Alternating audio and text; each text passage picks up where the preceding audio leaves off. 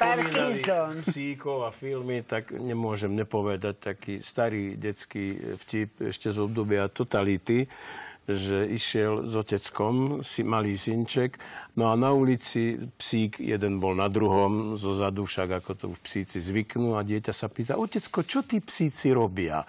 A otecko chvíľu rozmýšľa, no ten vzadu tlačí toho, čo je pod ním na sovietský film.